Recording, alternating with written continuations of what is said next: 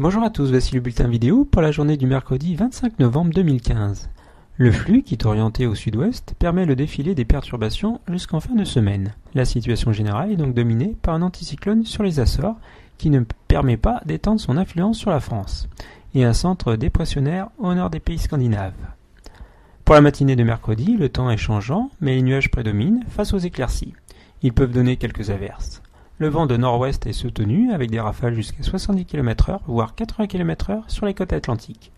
Les températures minimales sont un peu plus douces et comprises entre 1 et 5 degrés sur une grande moitié nord et de 5 à 10 degrés sur le sud et les côtes bretonnes. L'après-midi, assez peu d'évolution à attendre avec un ciel le plus souvent couvert sur le pays avec de fréquentes averses. Les précipitations se font plus éparses au fil des heures et disparaissent en soirée. Le vent d'ouest à nord-ouest reste très soutenu. Les températures maximales sont également en hausse et de saison, avec 3 à 12 degrés au nord et de 5 à 14 degrés sur les régions du sud.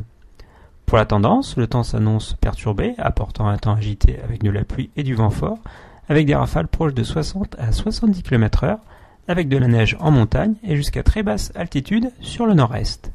Les températures seront en hausse pour la semaine prochaine. Ce mercredi, nous fêterons les Catherines, le soleil se lèvera à 8h13 et il se couchera à 17h12. Passez tous une très agréable journée.